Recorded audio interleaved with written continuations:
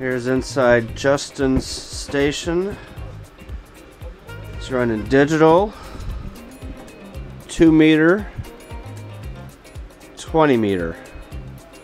And he's calling spots. And he's got a third laptop. So he's got two laptops and one for digital. Here's Ju Justin's 160 loop. Gets fed from coax here into a balun, into some ladder line off the ground with these stakes and then gets fed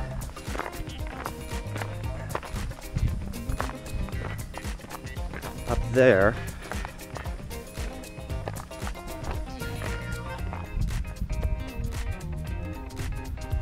And then we've got an attachment over there, an attachment there.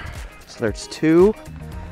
One that's pulling it back from that tree. So there's third attachment, four, five, way up in those trees up there. That's probably 60 foot up. That's probably 30, probably 25, 30, maybe 30. And here's probably, that's close to 25 or 30 up there. All right, here's CJ setup. I think he's got a 20 and a 40 fan dipole. It's up there. He's got just the two fans coming down. So that's what he's been using. And then we also put up, this is just a military mast. And then we put up a Invis, which does 40 and 80 back here. And it's fed with 200 feet of LMR 400 coax. Both these are. So there's the Invis.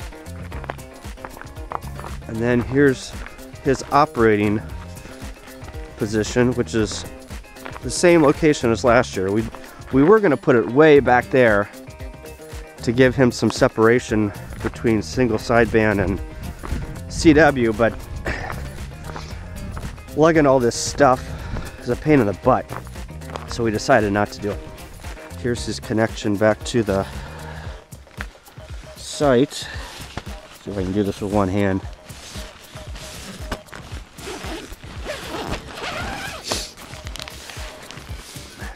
And that's where he operates from with his big heater. So, all right, here is my station. I've got uh, my truck backed up. There's uh, camp.